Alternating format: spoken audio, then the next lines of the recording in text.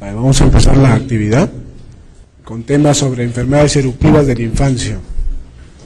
¿No? Empezando con esta pregunta que dice, ¿cuál de los siguientes no es característico de la varicela? No, no es característico de la varicela. ¿Las lesiones aparecen en grupos en diferentes estadios evolutivos? B. La distribución de las lesiones es predominantemente en extremidades distales en comparación con el tronco. C. El hemograma usualmente no sufre variación. D. El prodromo es leve y los síntomas pueden estar ausentes. Y E. La neumonía por varicela es infrecuente. ¿Cuál es la incorrecta? ¿No? La neumonía, ¿cuál es la complicación más frecuente de la varicela? Lesiones en piel, ¿no? Lesiones en piel. La, la, la complicación más frecuente de la varicela es piel. ¿no? El prodromo es leve y los síntomas pueden estar ausentes. Así es. En la mayoría de enfermedades eruptivas de la infancia, la gran mayoría, el hemograma usualmente está normal o puede haber linfocitos, linfocitos, porque como verán, la mayoría son virales. ¿no? Solo hay una que escapa a la regla, que lo vamos a mencionar después. La distribución de las lesiones es predominantemente en extremidades distales, en comparación con el tronco. No, no. Así es. Y las lesiones aparecen en varios grupos, ¿no? Ya sabemos que la lesión patognomónica de la varicela también empieza con B chica, ¿no? Es la vesícula, ¿no? Pero aparecen en grupos. En, un momento puede haber máculas, pápulas, vesículas, costras, todo, ¿no? Entonces, diciendo eso, estamos hablando de las enfermedades exantemáticas, ¿no? Tenemos enfermedades enantemáticas con N, que son lesiones en mucosas. Y tenemos enfermedades exantemáticas con X, que son lesiones en piel, que son lesiones eritematosas, difusas, de diferente variación, de acuerdo a la etiología, ¿no? Unas pueden ser escaletiniforme, la escaletiniforme el típico es piel de lija, ¿no? Aspereza piel de gallina o piel de lija, el más conocido es la escarlatina. La morbiliforme, acá hay varias eh, teologías dentro de las características, ¿no? Morbiliforme, que va a haber múltiples máculas eritematosas. Pueden ser algunas eh, pruriginosas y otras no pruriginosas. El ejemplo típico, sarampión y rubiola, son los más representativos, ¿no? Por eso que siempre hay que saber diferenciar entre la sarampión y la rubiola. Y la roseliforme, que son manchas pálidas, que son poco confluentes. ¿no? La morbiliforme son confluentes, la roseliforme no confluyen, están separadas por varios centímetros. El, caso típico, rociola. Entonces, como vemos, antiguamente la separaron así, más o menos en los años 1800, cuando de detectaron las enfermedades exantemáticas. ¿no? La primera enfermedad fue el sarampión, más conocido como sarampión. Segunda enfermedad, la escarlatina. Tercera enfermedad, rubiola. Cuarta enfermedad, antiguamente le llamaban la enfermedad de Filatoc duques, que actualmente está asociado a la toxina por estafilococo, ¿no? o estafilocosemias. ¿Ya? Actualmente ya no se usa mucho esto de Filatoc duques. ¿no? La cuarta enfermedad actualmente está asociado a estafilocosemias, estafilococo. La quinta enfermedad, las, las llamarías son las últimas en descubrirse, ya en los años 1900, todo esto fue en 1800 y esto de acá en 1900. ¿no? Quinta enfermedad, eritema infeccioso, y sexta enfermedad, exantema súbito. ¿no? Entonces, acá hay un algoritmo, ¿no? Si el paciente llega con exantema, hay que ver si tiene fiebre o no tiene fiebre. ¿ya? Entonces, el paciente tiene lesiones en piel, tiene lesiones en piel, y tiene una febrícula o no tiene fiebre, y luego aparecen las lesiones, es un eritema infeccioso.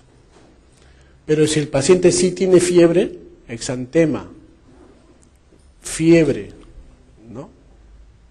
Los dos al mismo tiempo hay que descartar de acuerdo a la lesión. Fiebre más exantema y vesícula, varicela.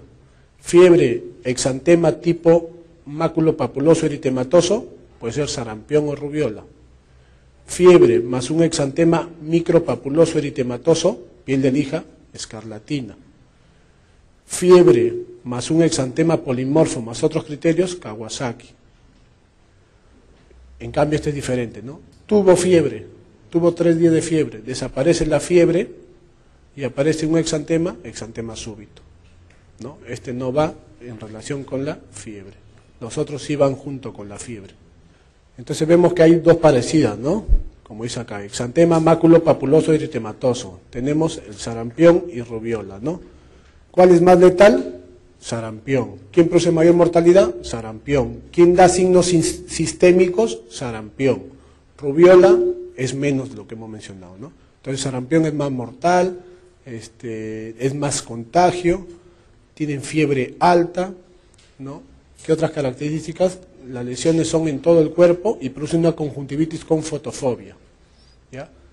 El virus del, sarampión es un exantema que clásicamente tiene un enantema, ¿no? es decir, ese enantema patognomónico que aparece en las lesiones en, boca o en paladar, ¿no? que son las manchas de Koplik.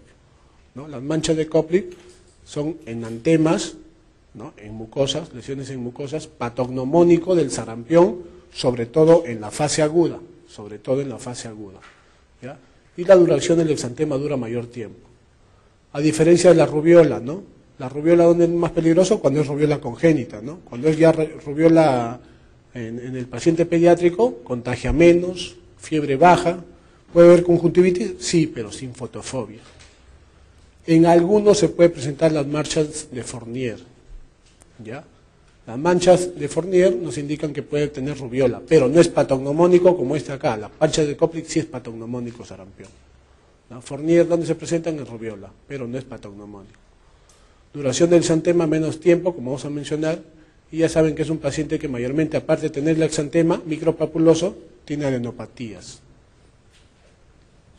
Entonces acá tenemos el sarampión. ¿no? El sarampión sabemos que depende del virus ARN, que es un paramixovirus.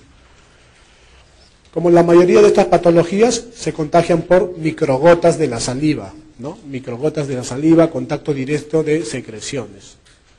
El sarampión, ¿cuántos días antes y cuántos días después contagia? La regla de los cuatro, ¿no? Cuatro días antes y cuatro días después de la aparición del exantema. Entonces, el sarampión contagia cuatro días antes que el paciente le aparezcan las lesiones y cuatro días después ya teniendo las lesiones. Es decir, el niñito cuando está con tos y moquito ya está eliminando el sarampión y contaminando. ¿no? El periodo de incubación son 10 días. ¿no? El programa ya hemos dicho 4 días. ¿no? ¿Cómo empieza el programa? Empieza como cualquier este, patología exantemática. ¿no? Tienen un proceso viral. Tos, moquito, puede haber fiebre, pero la fiebre es alta y conjuntivitis más fotofobia. El sarampión, como le dije, es bastante letal. Dentro de los que estamos mencionando, los exantemas, de los seis, el más letal es el sarampión. El periodo exantemático contagia hasta el día 4, pero puede durar más días. ¿no? Es máculo papuloso eritematoso, como hemos dicho, igual que la rubiola, pero no es pruriginoso, no pica. La rubiola puede picar un poco, este de acá. ¿no? Es descendente, extensión centrífuga. ¿no? Y más o menos entre el día 5 y 7 produce una descamación fina. Acuérdense que el sarampión afecta todo, palmas y plantas, ¿no? Todo afecta, ¿no? A diferencia de otra que vamos a ver que no afecta palmas y plantas. Sarampión es una enfermedad sistémica, sistémica. Complicaciones. Complicaciones. La primera complicación de sarampión es otitis media aguda. Más tardíamente, si sigue de mal en peor el paciente, neumonía. ¿no? Y hay cuadros neurológicos, por eso le digo sarampión es letal. ¿no? Complicación más frecuente, otitis media aguda. Complicación más letal, neurológicas. ¿no? Complicación más letal, neurológicas. Dentro de las neurológicas hay algo patognomónico en sarampión. ¿no? Dentro de estas seis enfermedades, el sarampión se relaciona a una enfermedad en que el niño va a tener trastorno de conducta, irritabilidad, convulsiones. ¿Cuál es ese? Anencefalitis esclerosante subaguda. ¿no? Convulsiones, irritabilidad, trastornos de la conducta, se vuelve agresivo. ¿no? ¿Por qué es? Por una infección persistente del sarampión. ¿no? Panencefalitis esclerosante subaguda. ¿no? La panencefalitis se presenta en sarampión. El tratamiento, existen dos, ¿no? Tratamiento eh, activo, Acuérdense, inmunización activa es vacuna, ¿no? Inmunización pasiva, inmunoglobulinas, ¿no? Existen los dos tipos de tratamiento, que vacuna lo vamos a hablar en otro, en otro momento.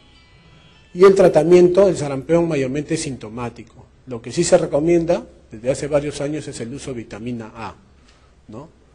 No se sabe el por qué, pero sí se sabe que disminuye la morbimortalidad. ¿ya? La vitamina A aumenta la sobrevida en los pacientes con sarampión grave, disminuye la morbimortalidad. Acá más o menos se dibujan, ¿no?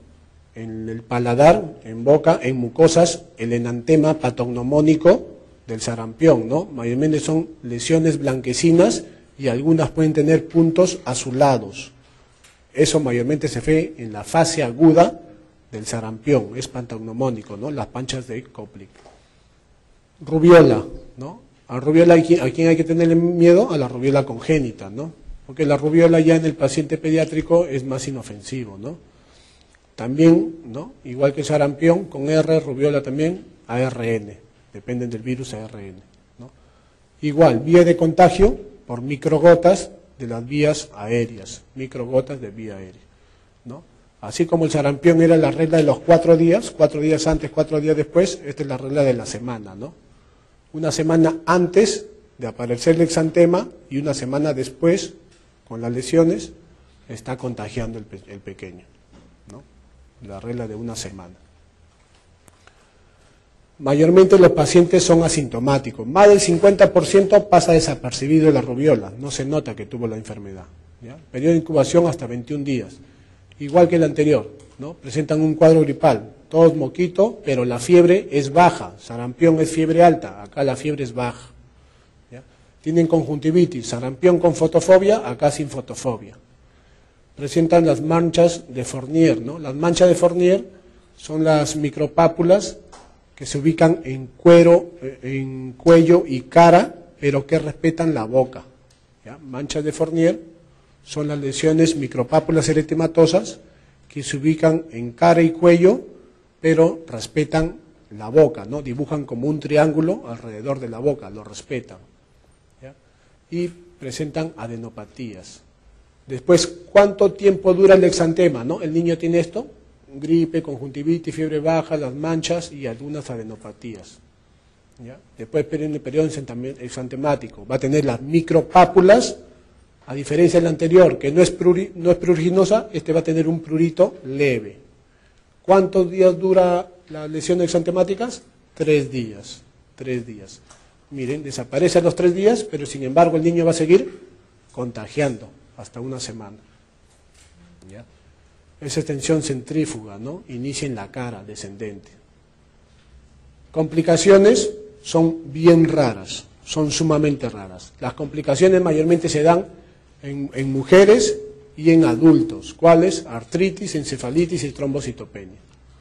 Y en cuanto a prevención y tratamiento, ya sabemos, ¿no? Inmunización activa, existe la vacuna, ¿no? La vacuna triple, ¿no? Al año de edad. Que vamos a ver tema de vacunas en otro tema y eh, pasiva inmunoglobulinas. ¿no? Sobre todo como las, esto acá es más importante cuando se habla de rubiola congénita. ¿no? La rubiola congénita es más delicado en los primeros tres meses de embarazo. ¿no? el primer mes de embarazo se da el 50% de malformaciones congénitas, ¿no? el 50%. El segundo mes, 25% y el tercer mes el otro 25% de, de malformaciones por una rubiola congénita. ¿Qué va a producir la rubiola congénita? Cardiopatías como el PSA. ¿no? Cardiopatía más frecuente asociada a rubiola, PSA. ¿Qué más va a producir? Cataratas. ¿no? Cataratas. ¿Y qué más va a producir? Sordera. Es SOPECA. So de sordera, P de PSA, K de cataratas, sopeca, ¿no? Entonces rubiola congénita produce sopeca, ¿no? Sordera, PSA y cataratas, ¿no? Para eso es importante la inmunoglobulina, ¿no? Apenas madre gestando le sale positivo, aplicar inmunoglobulina pasiva, ¿no? Entonces estas son las lesiones por rubiola, y acuérdense que el 90% de estos niños tienen adenopatías, ¿no? ¿Y dónde se ubican mayormente esas adenopatías? Retroauriculares y occipitales. Lugar más frecuente, retroauricular y occipital, ¿no? de las adenopatías. Ven las lesiones micropapulosas, eritematosas, y el niño luce bien, fiebre baja, un poquito prurito o irritabilidad y sus adenopatías. ¿no? Tratamiento, sintomáticos. Exantema súbito. ¿no? El exantema súbito es la sexta enfermedad, ¿no? Es la sexta enfermedad. ¿ya? Sexta enfermedad, empieza con S, súbito, con S. ¿Quién lo produce? Sexta, virus herpes 6. También se ha descrito el 7, pero mucho, mucho más frecuente el 6. ¿no? 6, súbito, sexta enfermedad. También conocido como rociola infantil. ¿Cómo se contagia? Igual, con microgotas de las vías respiratorias. Es mucho más frecuente en menores de dos años. Este exantema súbito, ¿qué significa? No? Tiene un periodo de incubación de 5 a 15 días. Y de ahí pide un periodo febril y el periodo exantemático. ¿no? Exantema súbito significa que el paciente súbitamente, como dice su nombre, súbito, súbitamente inicia la enfermedad con fiebre alta. El exantema súbito, súbitamente empieza su enfermedad con fiebre alta no va a tener tos, no va a tener moquito como los anteriores, ¿no? De frente fiebre alta, 39, 40, ¿ya? Fiebre alta. Y el niño luce bien, desaparece la fiebre, está jugando, come normal, todo su hábito normal. Fiebres altas, buen estado general. En algunos le pueden encontrar algunas lesiones en garganta, obtener un poco de diarreas, un poco de endopatías. En otros solo fiebre y buen estado general, nada más. ¿Cuánto dura esa fiebre? mayormente tres días. Y al cuarto día recién aparecen las lesiones y ya no tiene fiebre. ¿no?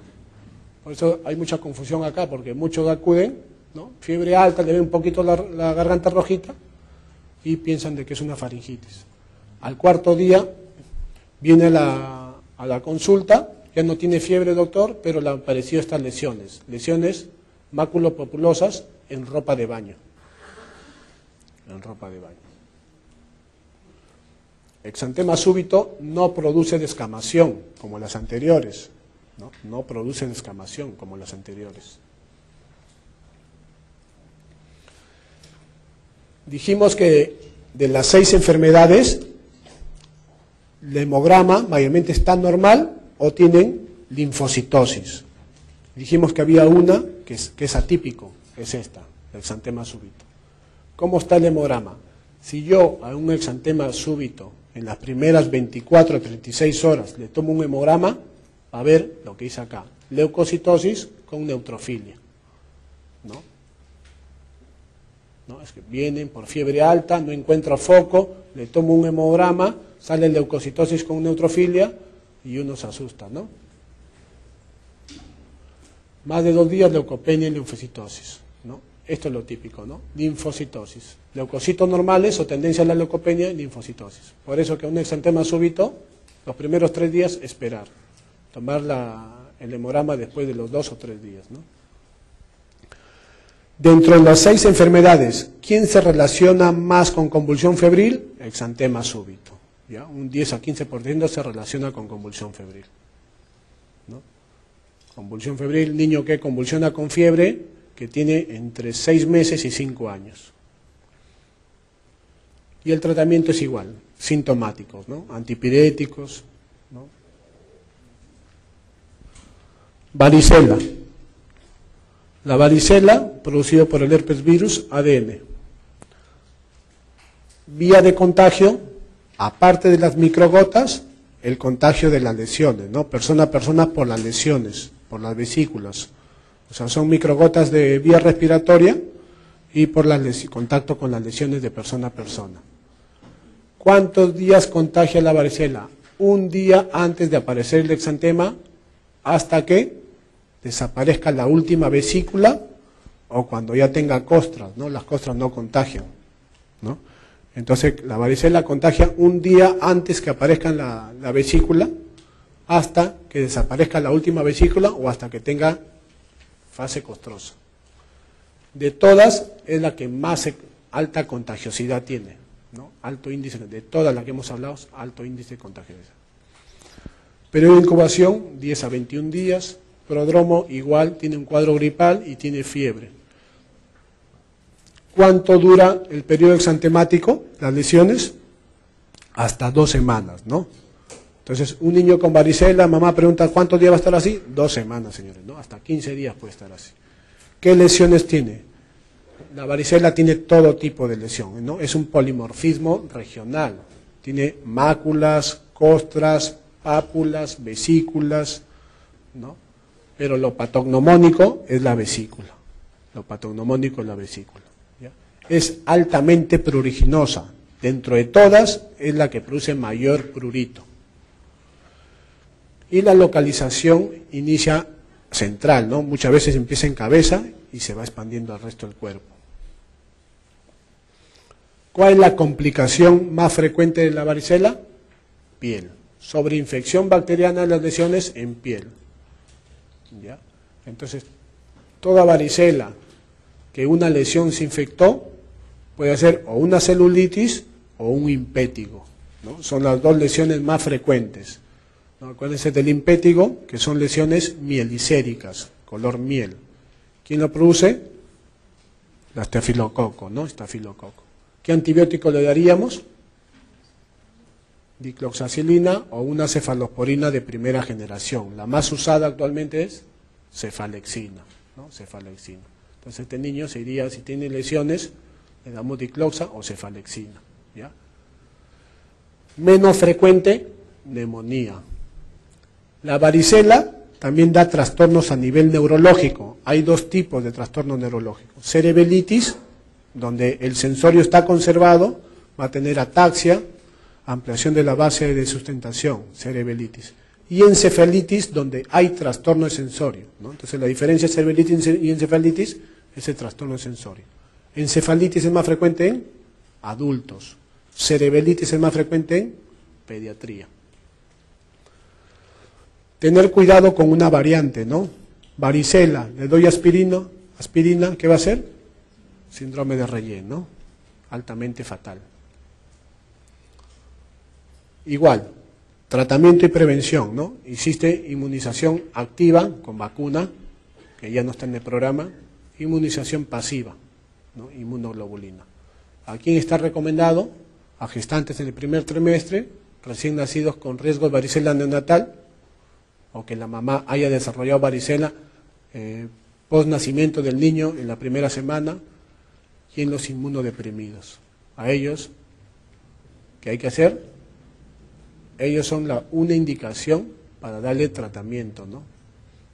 Entonces son las lesiones, ¿no? vesículas. ¿no? Escarlatina, ¿no? La escarlatina, ya estamos hablando de una bacteria, ¿no? Del estreptococo beta hemolítico del grupo A, ¿no? Estreptococo beta hemolítico del grupo A, que tiene tres toxinas, ¿no? ¿Cuándo es el contagio de la escarlatina? ¿No? Como es por, por una bacteria, ¿no? durante la fase aguda hasta un día post tratamiento.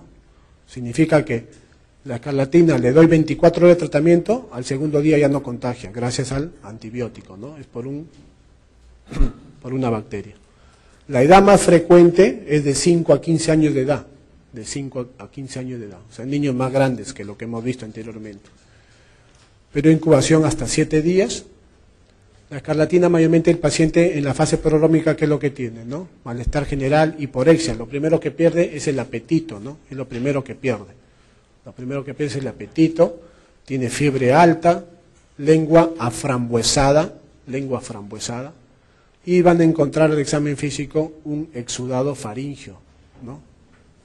Algunos pueden tener adenopatías. Y en el periodo exantemática pueden durar varios días, ¿no? Son pápulos eritematosos, algunos son pruriginosos, se blanquean a la presión ¿Dónde se inicia la lesión en las carlatinas? Se inicia en los pliegues, axila, cingle, cuello. Y después de aparecer en el pliegue, recién se generaliza. ¿En cuánto tiempo se generaliza? En 24 horas. ¿ya? Entonces aparece en pliegue primero y en 24 horas ya se generaliza. Acá se puede ver también las líneas de pastia. Las líneas de pastias son un, es la, escarlatina, lo que hemos visto, ¿no? La piel de lija, ¿no? Las líneas de pastia se ven en las axilas, en el ingle, en el codo, ¿no? Es la misma escarlatina, pero en mayor intensidad. Son lineales, como dicen, líneas. Son lineales, rojo más intenso, ¿no? Y la fase filato también son lesiones que respetan, igual que el anterior que hemos hablado, respetan la boca, ¿no? El triángulo de la boca.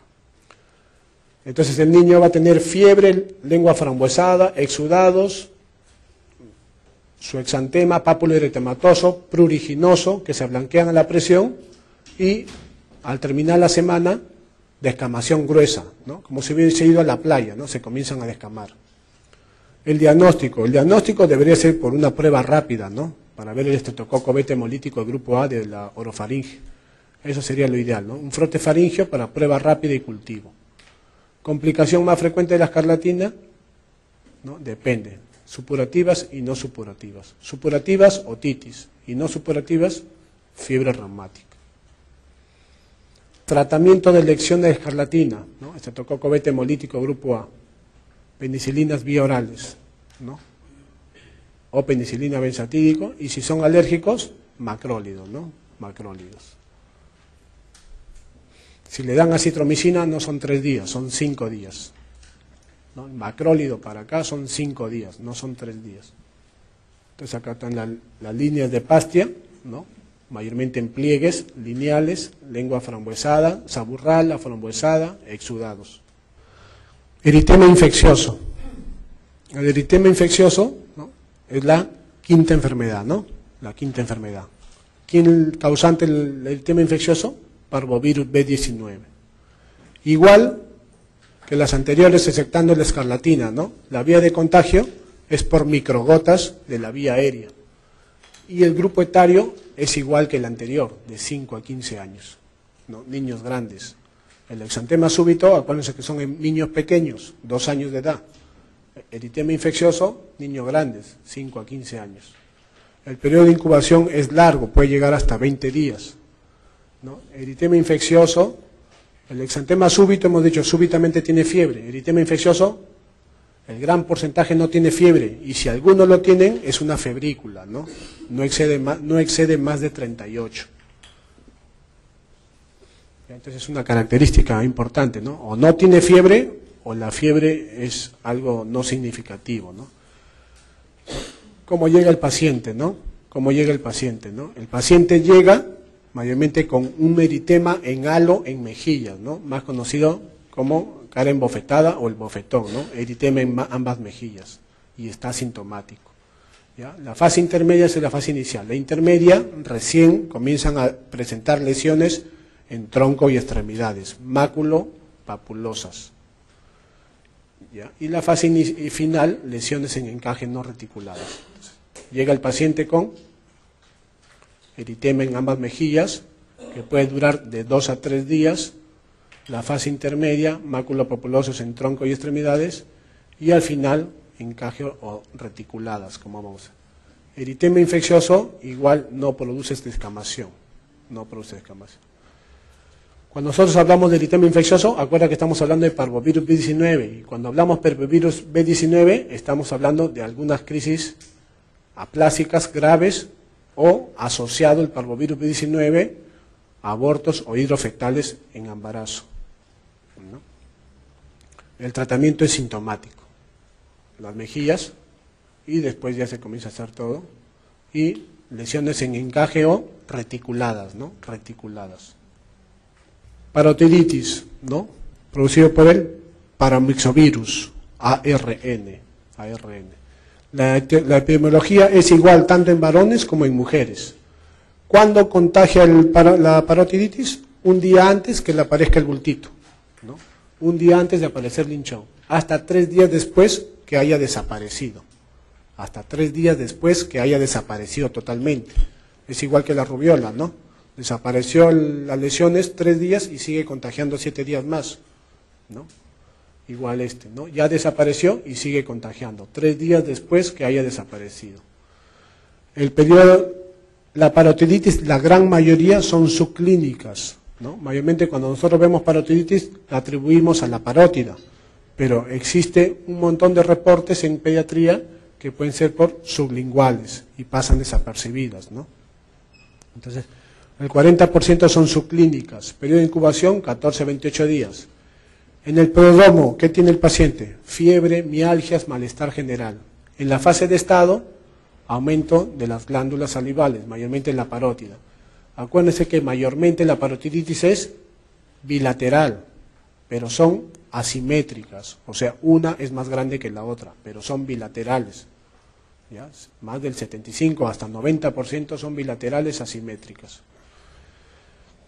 La parotiditis, el cuadro, el diagnóstico es clínico y serológico, ¿no? Inmunoglobulina M para paramyxovirus, ¿no? Hace diagnóstico. Si es que hay duda diagnóstica, le piden su inmunoglobulina M para paramyxovirus. Complicaciones, ¿no? Complicación. Complicación más frecuente, meningoencefalitis, aséptica, ¿no? Le toman líquido cefalorraquídeo, mayormente está normal. Complicación más frecuente, parotiditis en pediatría, MEC. En pediatría, MEC. En adultos se van por pancreatitis. ¿no? También puede producir orquitis, sordera, pancreatitis y púrpura trombocitopénica idiopática. ¿no? El tratamiento es sintomático. Entonces acá tenemos complicación más frecuente parotiditis en pediatría, meningoencefalitis. Complicación más grave, pero menos frecuente, pero menos frecuente, pancreatitis. Causa encefalitis posteruptiva más frecuente. Causa encefalitis posteruptiva más frecuente, parotiditis. MEC puede ser la única evidencia parotiditis. ¿Qué quiere decir? Que el niño puede venir con signos de meningitis, trastorno sensorio, le hacen la punción lumbar, sale todo normal y después el niño puede desarrollar aumento de volumen de alguna de las glándulas. Las glándulas submaxilares y sublinguales pueden ser las únicas comprometidas ¿no? y pasan desapercibidos. Enterovirus, ¿no? enterovirus, ARN, ¿no? es bastante frecuente en pediatría, ¿no? el contagio, como dice, entero, intestino, ¿ya? la vía de transmisión oral-oral, fecal-oral, entero, intestino, fecal-oral. Es el único que cambia. ¿no? Mayor porcentaje se da en verano, y en niños que ya manipulan cosas, ¿no? De los seis meses que ya manipulan, se llevan cosas a la boca, de los seis meses, ¿no? Justo en la edad donde más manipulan, hasta los 13 años de edad, ¿no? Prodromo, odinofagia, fiebre baja, malestar general.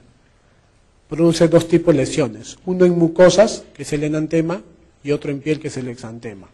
En los dos lados, vesículas, vesículas. ¿Ya? Como ven, las vesículas son de tamaño grande y se ulceran. ¿no? Son mucho más grandes que la de la varicela. ¿no? Y el tratamiento son sintomáticos. Y la enfermedad de Kawasaki, que también da una enfermedad eruptiva. ¿no?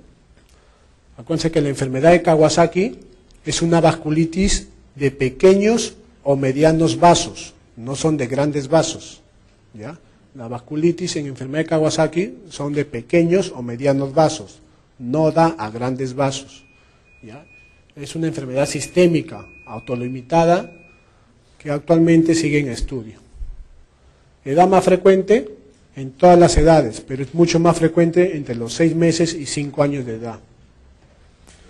Es la principal causa de cardiopatía adquirida en niños en los países desarrollados. Cuando uno habla de enfermedad de Kawasaki, habla de unos criterios, ¿no? Primero, el primer criterio es que el niño tenga más de cinco días de fiebre. Una vez que yo tengo un niño con más de cinco días de fiebre, recién entro a los otros criterios. ¿no? Más de cinco de fiebre, cinco días de fiebre, sí, ya, ven para acá. Vamos a tomar estos criterios. Primero, si tiene lo que ven en la foto, ¿no? Eritema de palmas o plantas o edema de manos o pies. Ese es uno. Dos, que tenga un exantema polimorfo, no pruriginoso, ¿ya? no pica, exantema polimorfo. Tres, inyección conjuntival bilateral, sin pus, no exudados, no exudados. Cuatro, lengua aframbuesada ¿no? lengua fromosada, eritematosa, roja, fisurada, pero cuando examinan la, por dentro no hay pus, no hay exudados. ¿ya? Como ven, acá no hay exudados, la conjuntivitis es bilateral, ¿no? hay una inyección conjuntival bilateral, tampoco hay exudados. Exantema polimorfo, no pruriginoso, edema de palmas. Estos cuatro, y el quinto, ¿cuál es? Linfadenopatía cervical, ¿no? que le palpen una adenopatía cervical más de 1.5 centímetros. De esos cinco, tienen que haber cuatro. De esos cinco tienen que haber cuatro. Cuatro más cinco días de fiebre, primera posibilidad diagnóstica, enfermedad de Kawasaki. No existe medio bioquímico o laboratorial para hacer diagnóstico. El diagnóstico es clínico. El diagnóstico es clínico. Fiebre más de cinco, más cuatro de los cinco que hemos hablado. ¿Por qué le he puesto eh, el menos frecuente de estos cinco? Es el último, linfadenopatía cervical. Es el menos frecuente. Entonces, este niño tiene más de 5 días de fiebre, ¿no? Tengo que hacer el diagnóstico antes del día 10. ¿Por qué antes del día 10? Porque después del día 10, los niños con enfermedad de Kawasaki hacen afectación cardíaca. ¿Cuál es la afectación cardíaca? Aneurismas de las coronarias, ¿no? Aneurisma de la coronaria. O sea, si hago el diagnóstico después del día 10, el niño tiene alto grado de hacer aneurisma de las coronarias en cuentas de Rosario, ya que es la manifestación más grave y letal. En cambio, si yo hago el diagnóstico antes del día 10, tengo oportunidad de darle medicamentos para reducir el que haga aneurismas. ¿Cuál es el tratamiento de elección? Lo que está de amarilla, ¿no? Inmunoglobulina humana endovenosa antes del día 10, antes del día 10 y aspirina o ácido acetil salicílico a dosis alta. Eso es el gol estándar. Después del día 10 desarrollen afectación cardíaca. ¿Cuál es la más frecuente? Aneurisma en la coronaria. ¿Y, cuál, ¿Y por qué se mueren? Por infartos, ¿no? Por infartos. Entonces, antes del día 10, camaglobulina solo se da una dosis, una dosis nomás. Y ácido salicílico, altas dosis. La enfermedad Kawasaki eh, no cede la fiebre el único que le baja la fiebre es el salicilato. No cede la fiebre con paracetamol, ibuprofeno, metamisol, ampollas, nada. Solo con altas dosis de salicilatos. La propagación máxima del virus del sarampión se hace a través de las gotitas que expulsa el niño en A. El periodo de incubación, B. La fase eruptiva, C. El inicio de la desaparición de la erupción, D. Periodo post-erupción, E. El estado prodrómico o fase catarral. ¿Cuál es la respuesta? prodromo y fase catarral, ¿no? fase inicial. ¿Cuál de las siguientes manifestaciones es patognomónico el sarampión? Hemos dicho patognomónico, y sobre todo en la fase aguda, sobre todo en la fase aguda, ¿no? son lesiones blanquecinas, azuladas, en lengua o en paladar, ¿no? las manchas de Koplik, ¿no?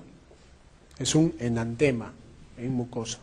Niño de dos años de edad que desde hace cuatro días presenta fiebre de 40 grados, que cede espontáneamente, apareciendo entonces un exantema popular rosado no pruriginoso en tronco, que dura dos días. Concomitantemente presenta rinorrea leve sin alteración significativa de su estado general. El diagnóstico más probable es, tiene fiebre alta, ¿no? Acuérdense lo que le dije, ¿no? Niño que tiene súbitamente fiebre alta, súbita, ¿no? Ese es exantema súbito, ¿no? O también conocido como rociola, producido por el herpes, virus 6, ¿no? Súbito, S, sexto. Y después aparecen las lesiones, ¿no? En relación a la varicela, marque la respuesta falsa. La incubación es de 14 a 16 días. El exantema es centrípeto la inmunidad es permanente, las costras contagian, las lesiones son pruriginosas. Y hemos dicho, ¿no? Lo que contagia son las vesículas, ¿no? Las costras no contagian. Las costras no contagian. Lo que existe en la, población es el temor social, ¿no? Las costras no contagian, pero ni así lo aceptan en el colegio, ¿no? Paciente de tres años de edad, desde hace dos días presenta fiebre, malestar general, disfagia, hiporexia, vómitos Al examen, faringe congestiva, exantema de color rojo punteado, papuloso generalizado, más intenso en pliegues de flexión, excepto en la zona peribucal. ¿Cuál es el tratamiento de elección? De una escarlatina, ¿no? Que tiene todo, ¿no? Las líneas de pastia, ¿no? color rojo punteado, eh, más intenso en pliegues. Y la fase filatón, ¿no? Excepto en la zona peribucal. Y tiene exudados en la orofaringe, ¿no? Fiebre, malestar, tiene todo de una escarlatina, el grupo etario, ¿no? El tratamiento es con penicilina. Un niño de cuatro años de edad con un cuadro de fiebre, conjuntivitis, adenopatía cervical, lengua de fresa edema y descamación de membranosa en los dedos de manos y pies. Orientará nuestro diagnóstico hasta Kawasaki, ¿no? ¿Cuál de los siguientes virus produce complicaciones neurológicas con mayor frecuencia? Por ejemplo, panencefalitis, sarampión, ¿no? Hemos dicho neurológico, sarampión, ¿no? Es el más agresivo. Sarampión es el de mayores manifestaciones sistémicas. La parotiditis se caracteriza por presentar las siguientes manifestaciones, excepto el compromiso parotidio generalmente es unilateral, las glándulas submaxilar y sublingual pueden ser las únicas comprometidas, la pancreatitis ocurre más frecuente en adultos que en niños, la meningoencefalitis puede ser la única evidencia de parotiditis y la orquitis rara en niños. ¿Cuál es? Bilateral, bilateral, bilateral pero asimétrico, ¿no? Pasando a otro tema. El agente etiológico de la rabia es agnovirus, ¿no? Con respecto a la rabia, ¿no? que es una zoonosis mayormente ocasionado por animales domésticos, aquí le llaman los domésticos, perros, gatos y hurones, ¿no? Perros, gatos y hurones. Y animales salvajes, ¿no? Murciélagos, zorros, zorrillos, mapaches. ¿no? Y se propaga a través de la de las personas a través del contacto con la saliva, pero tiene que haber una herida o una mucosa abierta. ¿ya? Pertenece al lisavirus tipo 1. Importante esto de acá. Una vez que aparecen los síntomas, la enfermedad es casi mortal 100%. O sea, por eso es, lo más importante de esto es la, la prevención. ¿no? El niño que ya inició síntomas, 100% casi 100% mortal. Transmisión por mordeduras o arañazos de animales infectados, que ya hemos mencionado cuáles son, a través de la piel, pero que tenga una mucosa abierta, una lesión, una herida. ¿ya? Contacto directo con material infeccioso, generalmente la... Y la transmisión de persona a persona por mordeduras es teóricamente posible, pero nunca se ha confirmado un caso. Sí se ha visto, sí se ha documentado que existe por trasplante corneal y también en sangre, leche y orina, pero no se ha documentado por transmisión transplacentaria. Entonces, lo que está documentado es por todo, menos por transplacentario, por aerosol también, por el guano. ¿Qué produce esta enfermedad? Encefalomielitis. Encefalomielitis. Entonces, el periodo de incubación va entre 10 días, o algunos dicen 5 días, hasta 130 días. El periodo prodrómico de 2 a 10 días. ¿Qué va a presentar el paciente? Cansancio, cefalea, anorexia, fiebre, náusea, vómitos, parestesia. O sea que es de difícil diagnóstico porque puede ser cualquier otra cosa. ¿no? El periodo de excitación, ahí es mucho más fácil diagnosticar, ¿ya? porque es patognomónico de esto, que tenga hidrofobia, aerofobia y cambios de conducta. Esto es patognomónico. Lo malo que ya el diagnóstico es tardío. ¿no? Hacer diagnóstico en periodo de incubación y prodrómico es sumamente difícil. El diagnóstico en periodo de excitación es más fiable, ¿no? Por esto de acá, ¿no? La cialorrea, las hiperestesias que tiene, ¿no? Gran dolor solo con el rozar la ropa a la piel, ¿no?